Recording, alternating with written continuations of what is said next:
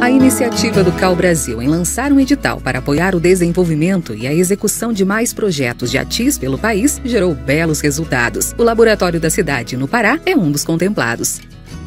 A gente começou em faculdades, universidades. Foi quando a gente decidiu fazer a concepção de um espaço urbano de Belém, perguntando para as pessoas o que, que elas queriam que tivesse naquele espaço. A gente conseguiu construir bancos, mesas. Que nós acreditamos que os espaços públicos são agentes transformadores do espaço urbano. O ideal é mesmo isso, trabalhar com a comunidade para que ela se sinta dona e pertencente desse espaço. O CAL abriu as portas para a gente nessa questão dos recursos, né? Vai ser possível a gente fazer uma oficina completa, transformar os espaços com baixo custo e alto impacto, que a gente fala. A praça ela é fundamental para uma sociedade poder desenvolver o seu lado social.